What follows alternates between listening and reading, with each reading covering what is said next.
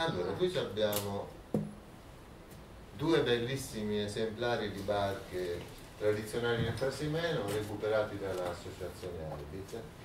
Questo si chiama, normalmente si chiama un barchino, era una barca per la pesca molto costiera che di solito andava senza, cioè queste andavano senza motore quando è stata costruita, poi è stato fatto il taglio per metterci i piccoli motori.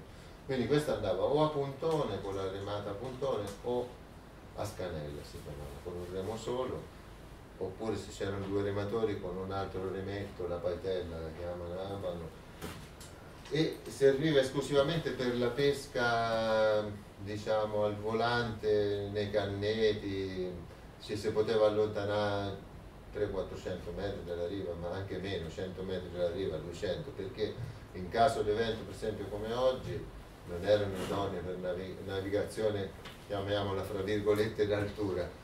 Quindi queste erano le barche tipiche che usavano, per esempio nell'area della valle, quindi per i vallaioli li chiamavano, oppure per sta pesca costiera. Questa barca qui era rivestita in plastica quando l'ho recuperata, era castiglionese, sono riuscita ad acquistarla, l'ho sfoderata da questa vetroresina, questo film di vetroresina che c'era e è venuto fuori un, bel esemplare. Il legno era molto ossidato, molto polverizzato, quindi gli abbiamo fatto un trattamento un po' di consolidamento temporaneo, infatti sotto c'è una vasca ristampata di plastica che si vede poco il bordo perché se no si distruggeva. Ora forse dopo il consolidamento si può anche provatovi poi diciamo che è stata un po' trattata per riconsolidarla e le ultime tecniche che usiamo come abbiamo usato per quello si era consigliato al nostro maestro Dascia effettivo un certificato di riferimento che è un eh, ragazzo che è nato a San Feliciano ma al cantiere a Murano, è diventato maestro d'ascia nel Veneto, perché per diventare maestro d'ascia certificato ci vogliono tre anni di attività esperienziale in un cantiere oppure in una scuola e poi fare un esame alla Capitaneria dei Porti. In quel caso sei un maestro d'ascia certificato che puoi costruire barche e certificarle fino a una certa stazza.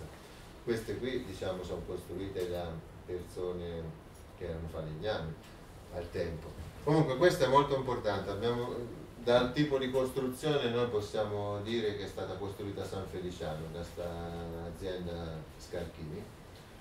È molto bella, qui anche il Manu ce l'aveva vista, perché ha queste grappe in ferro che erano usate anche 200 anni per tenere le tavole, queste grappette di ferro che ci sono. Perché questa è, è scomposta, quindi la tavola non è tutta intera, è fatta con un paio di tavole nascoste. Allora, qui già potete vedere la classica costruzione. Questo è l'uscio, questa parte centrale con le tavole orizzontali, che prima di tutto si costruisce questo. Questa è la misura del, dell'uscio del barchino, quello è l'uscio, dopo andiamo a vedere, della barca più grande. Si costruisce questo uscio con tre ordinati, che sono questi dragoni, che di solito sono le querce poi le ordinate verticali invece sono fatte di olive tutte in un pezzo perché l'olivo consente da veste piegature. Quindi se prende il pezzo d'olivo ora prendo uno grezzo così. Si fa l'uscio, ci si attaccano le sponde, poi si piegano e si chiudono queste tavole a prua. E questo era il barchino per, per piccola pesca costiera o per la valle. Poi dopo c'era la barca più grande, intorno a 6 metri, 5 metri e mezzo, 6, che è quella, e quella ci puoi fare la pesca anche un po' più, eh, ci puoi attraversare lago, affronta i venti del lago senza problemi. E queste sono le barche che dall'inizio del Novecento sono rimaste. Prima c'erano le barche, i barchetti, le barche del Gorro, fa conto un metro e mezzo più lungo come questa, che sarebbe quella nel Museo della Pesca, che poi è stata ricostruita. Cioè io ho fatto parte del gruppo di lavoro per la ricostruzione quando eh, ha preso fuoco che si è incendiato. E anche perché appunto uno dei lavori che fa l'Arbit è quello di censire barche, quindi noi come Arbit, e l'avevo fatto ufficialmente con la richiesta al Comune di Madonna, avevamo il censimento, quindi tutte le misure, perché se no sia il Museo della Pesca, il Comune di Magione non c'aveva nessuna traccia, storia documentata di quella parte, quindi ci hanno chiesto le, le misure, gli abbiamo fatto il disegno, addirittura io gli ho fatto un modellino, dopo se andava proprio vi fatto vedere, perché la ricostruì in scala e è stato possibile ricostruire. Questa invece è stata costruita a, a Borghetto di Toro, a Borghetto di Castiglione del Lago anche.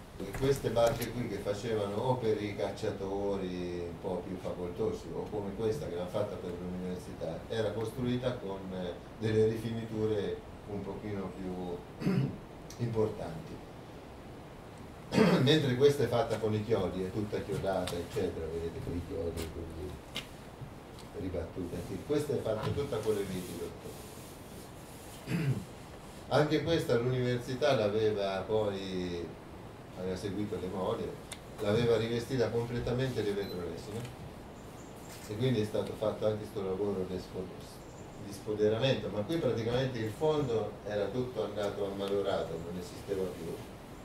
Qui praticamente gli è stato rifatto, prima di tutto gli è stato rifatto la parte finale delle, della sponda perché anche quella si era ammalorata, vedi sto pezzettino che si vede nuovo qui. E poi è stato rifatto tutto il fondo. È stata una bella esperienza, però vedi le rifiniture sono sto bordino sopra, a parte le viti, quelle panchettine lì, sono previste altre due panche qui che le abbiamo ricostruite l'altro ieri con del legno.